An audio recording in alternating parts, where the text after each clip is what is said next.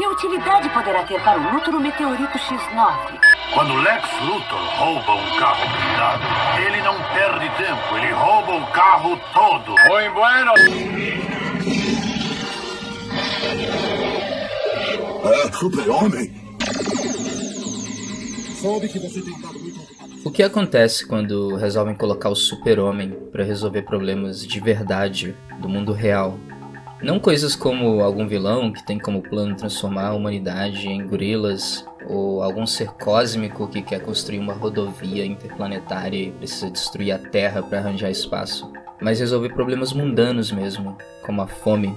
Quando misturam super-heróis com problemas sociais, a tendência é dar merda. Falando nisso, esse é o seu grande problema. Mas que problema? Drogas, companheiro. Seu cérebro deve estar de cabeça para baixo. As drogas não fazem nada com o seu... Tem qualquer coisa no véu da fantasia que cobre essas histórias que faz com que a gente aceite ou ignore certas partes do mundo ficcional criado. É uma ficção coletiva, feita tanto pelos desenhistas e roteiristas e quem lê o quadrinho, e quanto mais fantasiosa e distante a história da realidade, mais fácil é evitar certas perguntas. Como funciona o voo do super-homem? Por que o Batman usa seu dinheiro para acabar com a pobreza de Gotham? Se o Pluto é um cachorro, que diabos é o Pateta? O que a gente está disposto a aceitar na ficção está ligado à nossa própria subjetividade. Eu uma vez estava assistindo Vingadores com um amigo e em uma cena em que a Viúva Negra estava enchendo uma galera de porrada, ele solta muito irritado um Não aguento isso nesses filmes. No universo que tem um cara verde gigante, um deus nórdico e que o Killmonger é considerado um vilão, o que acaba com a suspensão de descrença do cara é uma mulher conseguir bater em vários homens.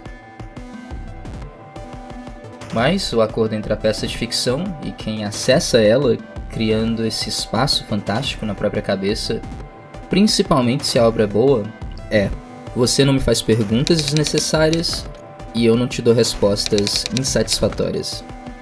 No caso dos super-heróis, a gente tem obras brilhantes como Watchmen mostrando o fascismo descarado do que é essa ideia de vigilantismo bárbaro, se trazemos isso para o mundo real. Tem obras como o filme do Pantera Negra, em que até se elaboram perguntas boas sobre os temas do racismo, da pobreza e do colonialismo, mas acaba bagunçando tudo isso e tendo uma conclusão covarde e corporativa. Todo mundo sabe que o Killmonger é que estava certo no fim das contas. E tem obras como Super-Homem, Paz na Terra, que tenta dar respostas a perguntas difíceis de se resolver numa história do Super-Homem. É a história favorita do Super-Homem de muita gente, muitas vezes usadas como exemplo de que quadrinho também é literatura e que serve para lidar com temas sérios. Então, vamos levar essa história em quadrinhos a sério.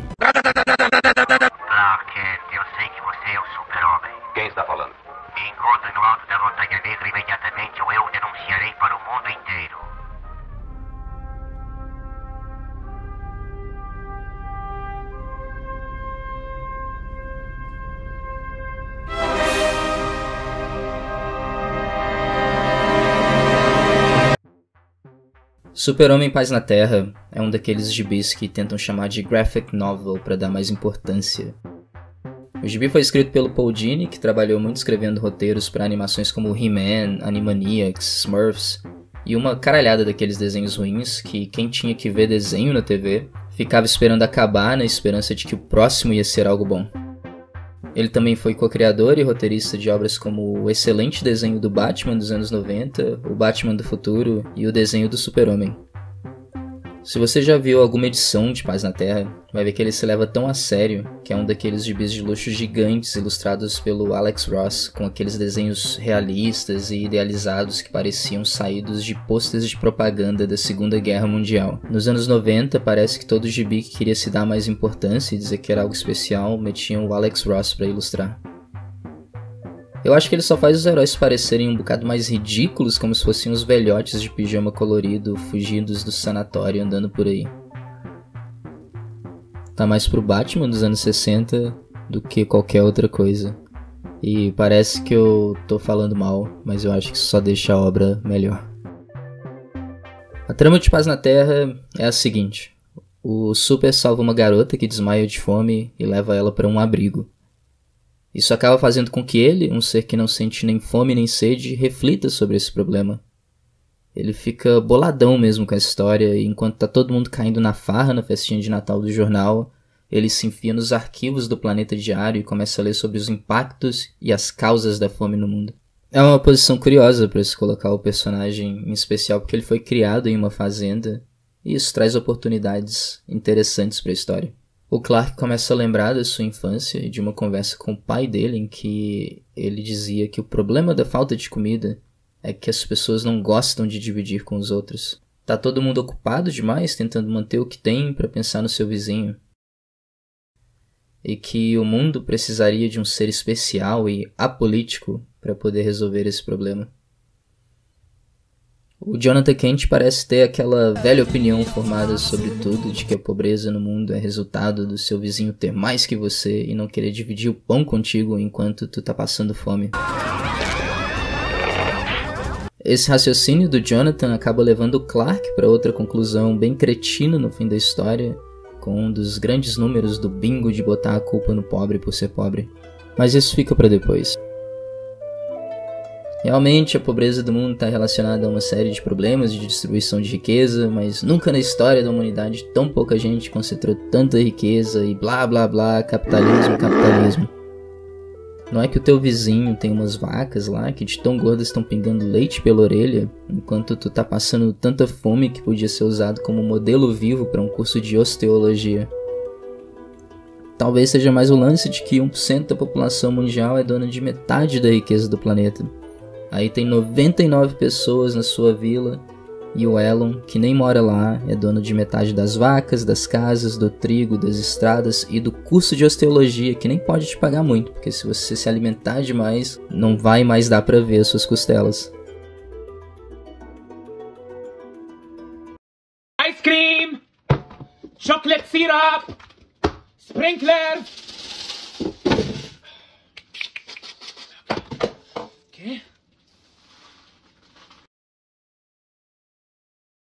O Clark então resolve fazer algo a respeito da fome.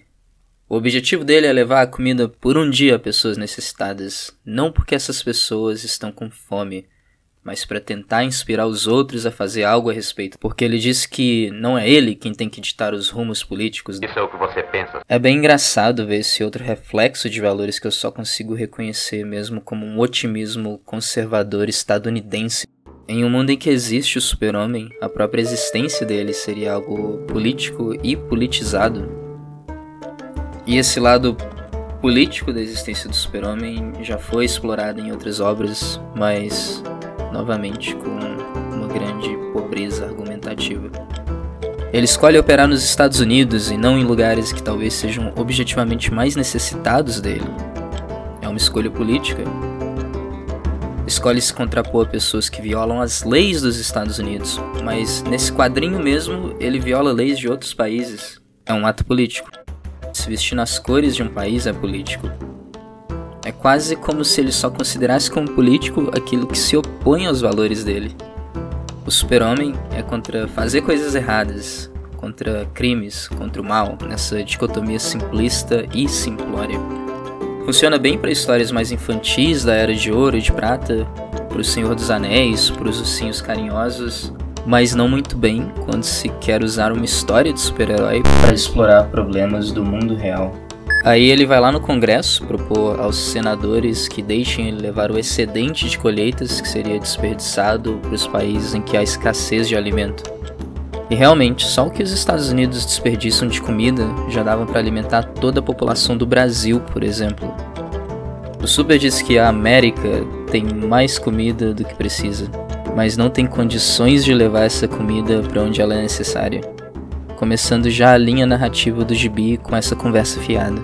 Sério que os Estados Unidos não têm condições de transportar o excedente de comida que eles têm? A única forma de resolver esse problema seria se tivesse um super-homem no mundo real. Enfim, ele consegue convencer os políticos dos Estados Unidos, mas não faz muita questão de tentar contatar diretamente representantes de outros países, em especial dos países para onde ele pretende levar essa comida. Essa história ser escrita assim acaba sendo um espelho do descaso que os Estados Unidos têm pela soberania de países do chamado Terceiro Mundo. não tendo nenhum problema em violar os territórios soberanos dali, enviando para lá de forma casual, o que é ao mesmo tempo um representante daquele país e a arma mais poderosa do mundo. Se no mundo real o posicionamento de tropas perto de uma fronteira já é considerado uma agressão, imagina como seria mandar o super-homem invadir o espaço aéreo do seu país. Aliás, é exatamente isso que acontece em Watchmen, com o Dr. Manhattan sendo enviado para o Vietnã para acabar com a guerra. Paz na Terra é um gibi pós-Watchmen e mesmo assim cai nessa calhordice. Daí o super-homem criminoso de guerra devia ser julgado em Haia, só que não ia adiantar muita coisa, porque os Estados Unidos têm aquela lei em que se dão o direito de invadir a Holanda caso algum cidadão dos Estados Unidos seja levado a julgamento por crimes de guerra. Tá vendo por que eu acho que esse tipo de história convida perguntas para as quais elas não têm boas respostas?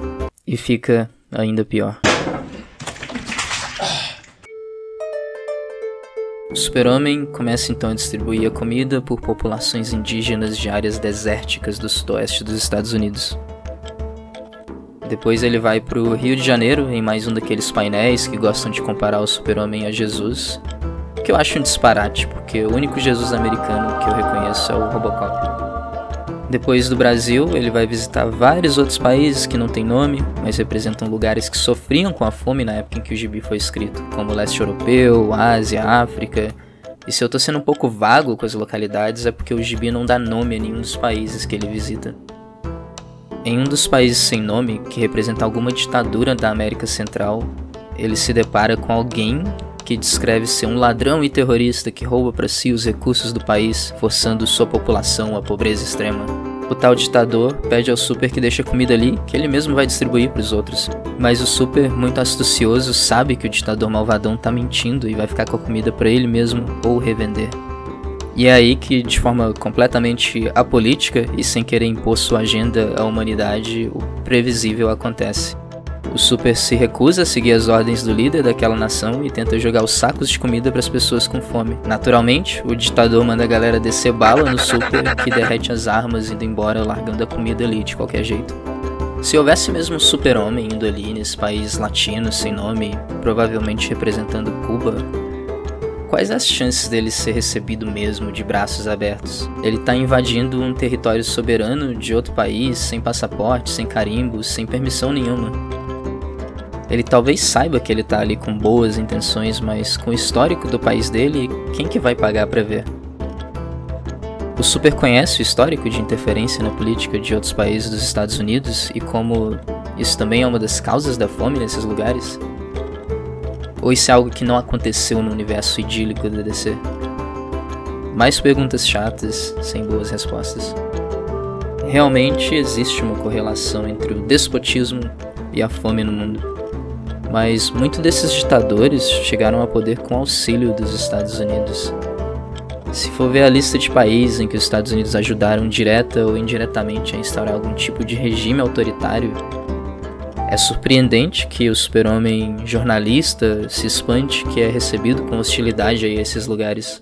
É óbvio que o que o personagem sabe e como ele vê o mundo é fruto da limitação do que o autor da história sabe e como o autor da história vê o mundo.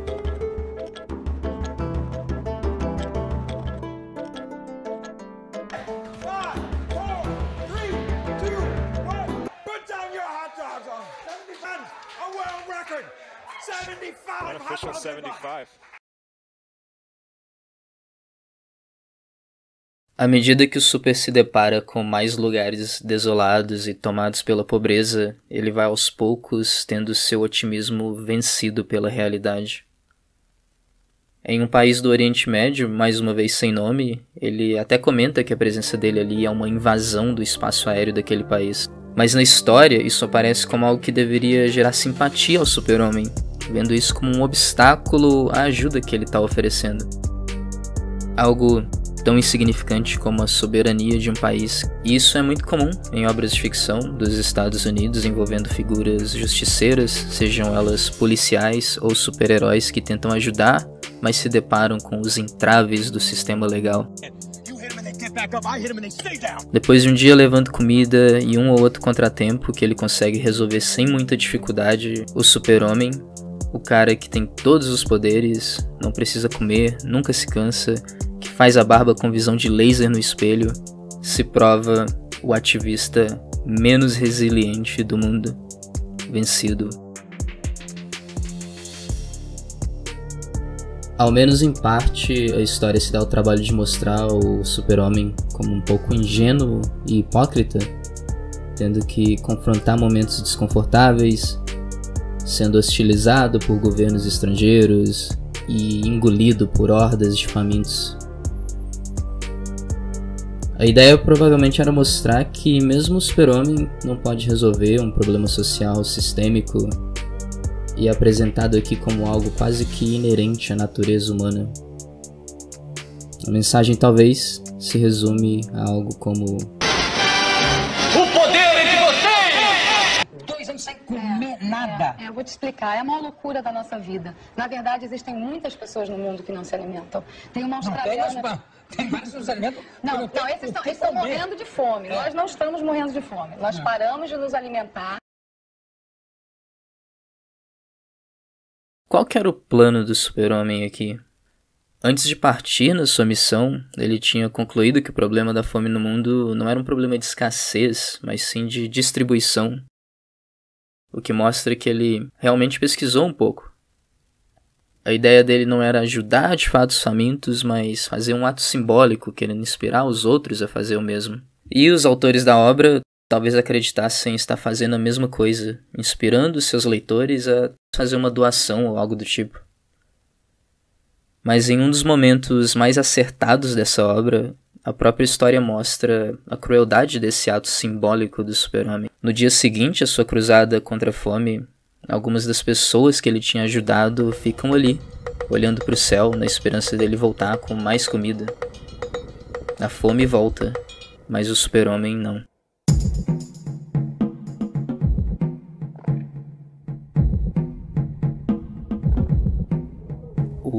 Destino Manifesto era uma crença popular dos Estados Unidos do século XIX de que eles tinham uma missão divina de expandir o seu território para espalhar sua cultura e religião aos povos inferiores, nomeadamente os indígenas e os mexicanos. É uma ideologia que o cinema retratava bem em qualquer filme de cowboy. Os povos indígenas eram selvagens e irracionais, os mexicanos brutos e incivilizados. Ai! Você viu algum cavalo por aqui? Mim não vê cavalo. Você quer cavalo pra quê? E comer A maior contribuição dessa ideologia para o mundo foi essa pintura aí, com uma mulher gigante levando o progresso como se fosse Godzilla, mostrando que esse papo de crise estética tem precedentes muito antigos. Também na virada do século XIX para o século XX, o Rudyard Kipling, escritor inglês que nasceu na Índia ocupada pelos britânicos e autor do livro da Selva, escrevia o poema O Fardo do Homem Branco. Nesse poema, o Kipling descrevia os povos das colônias como meio criança, meio demônio, ou seja, inocentes e selvagens, precisando ser salvos de si mesmos. He wanted India to be part of the British Empire, and that's the faction that he joins, uh, and that's in Britain, and those are his views. So it's kind of that ambiguous situation of European Orientalists and others who loved the romantic aspects of India and its history, but couldn't bring themselves to love the native themselves. That kind of quandary that Kipling also represents. Having realized that the British power is sort of waning, encourages America to take its role of bringing the so called civilization to the masses. And the president, the vice president Theodore Roosevelt, who eventually becomes president, actually sends this poem to this, one of the senators, and he says, and, is, and I quote, it was rather poor poetry, but good, good sense from the expansion point of view. So, if you had any doubt that poems and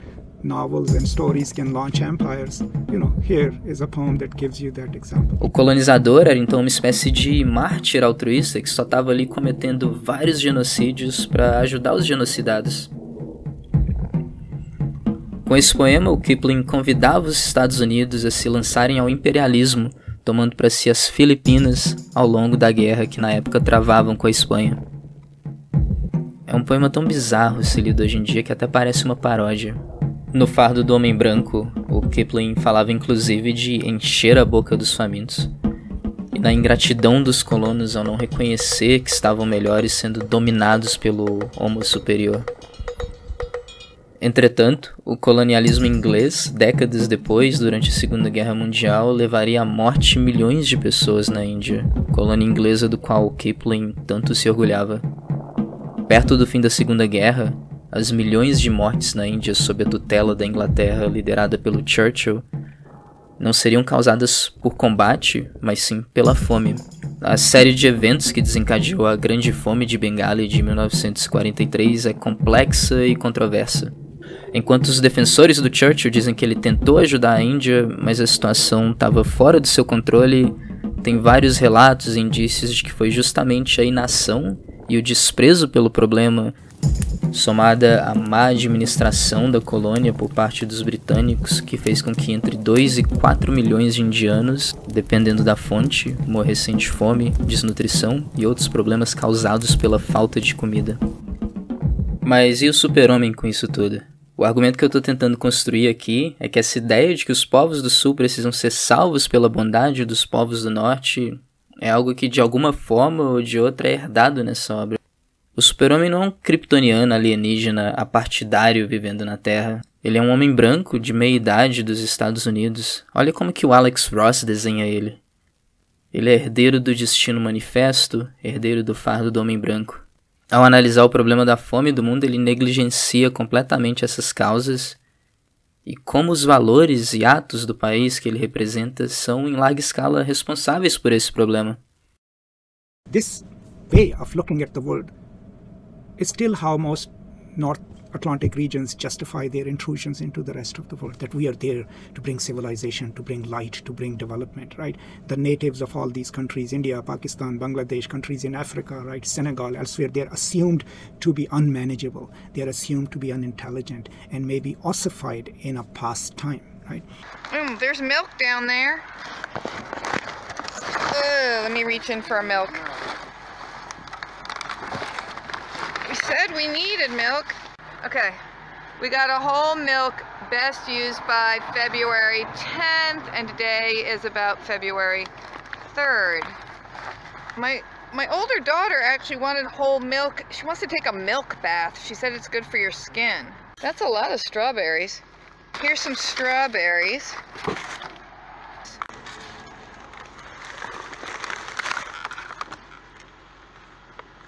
Ooh, more milk. Need your help for this. Oh, look at that.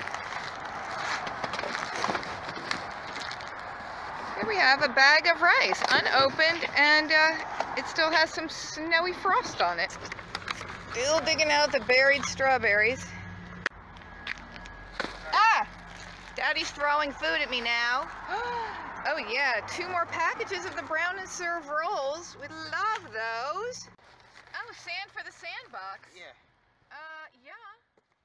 Não falta comida no mundo. Falta as pessoas recurso para obter comida. A comida produzida no mundo não tem como objetivo alimentar as pessoas, mas sim gerar lucro para os produtores de alimento, o que é ao mesmo tempo uma frase óbvia e surpreendente. No mundo em que a gente vive, a comida não serve para alimentar, serve para dar dinheiro. A produção alimentícia no Brasil é largamente subordinada aos mercados internacionais e por isso que quando o dólar sobe, tudo fica mais caro e muitas vezes faltam produtos nos mercados. É mais lucrativo exportar do que abastecer o mercado nacional.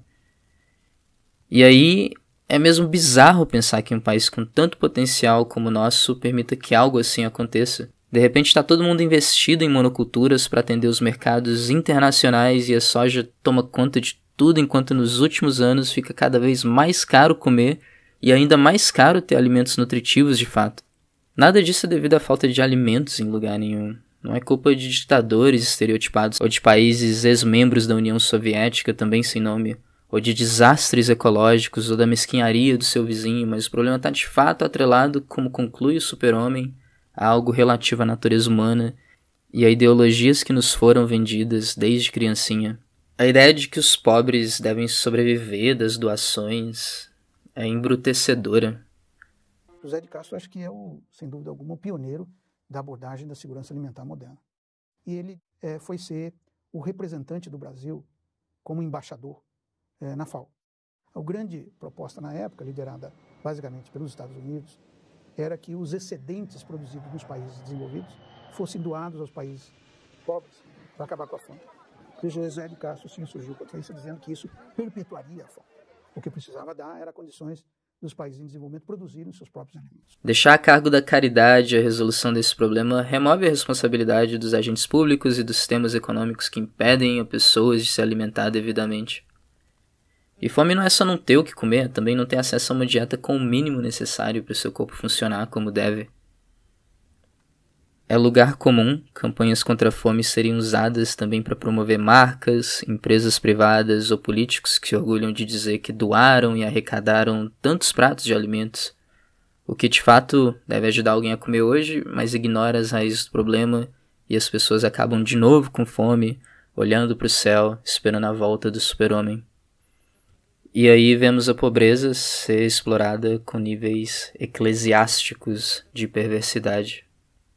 A fome foi transformada em produto no passado, no presente e talvez vai continuar a ser um produto no futuro. O que tirou o Brasil do mapa da fome em 2014 foram programas de política pública e distribuição de renda, e o que colocou o Brasil de novo no mapa da fome foi a erosão dessas políticas públicas que, pelo contrário, deviam ter sido ampliadas quem leva o grande dinheiro é o agronegócio, que produz a soja, produz milho ou produz celulose. Nós temos que se contentar com um, pequeno número de recursos e ainda temos que mais produz alimento, né?